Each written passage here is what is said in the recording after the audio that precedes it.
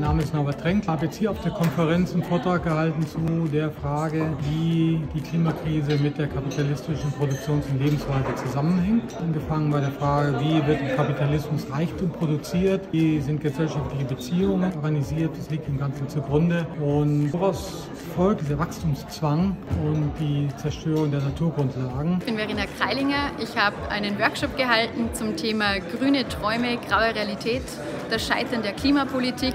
Ich habe darin festgehalten, dass die globale Klimapolitik desaströs scheitert. Das liegt daran, dass sie am kapitalistischen Wachstumsversprechen festhält und meint, dass sich das globale Wachstum vereinbaren lässt mit der Emissionsreduktion. Dem ist nicht so und dem müssen wir etwas entgegensetzen.